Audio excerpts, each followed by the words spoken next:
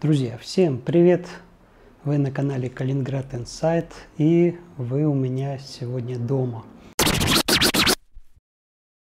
И речь сегодня у нас пойдет с вами о коммунальных делах, потому что наступил июль, с 1 июля у нас поднимаются коммунальные тарифы, и в Калининградской области опять э, произошло так сказать, то, что вызвало у людей возмущение.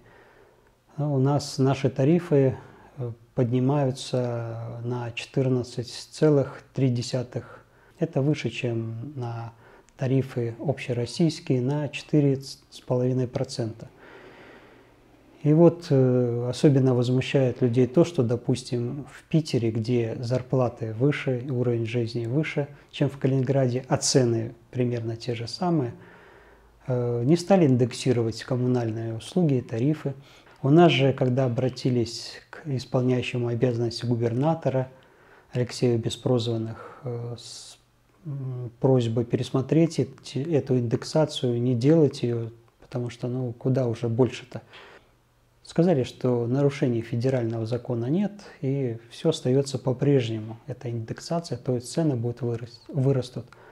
Ну вот, э, чтобы вы имели представление, ну, допустим, мы за эту вот двушку в Хрущевке э, зимой платим, платили девять с половиной тысяч. Это сейчас наверняка уже будет больше. Летом у нас поменьше, где-то шесть-шесть с половиной.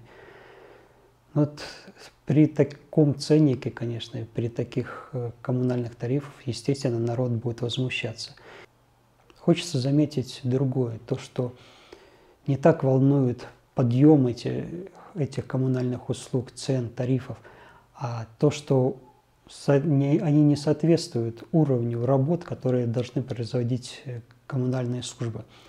Вот, э, вот вы можете посмотреть, я специально э, снял для вас небольшие видео про наш подъезд, про наш двор. Вот посмотрите, что за ящики там у нас, в каком состоянии, да, в каком состоянии двор, в каком состоянии э, мусорка.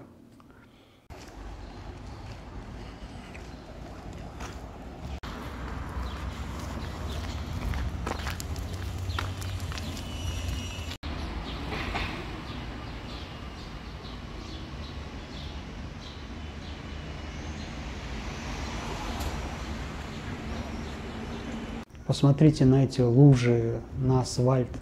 Где их работа за такие деньги?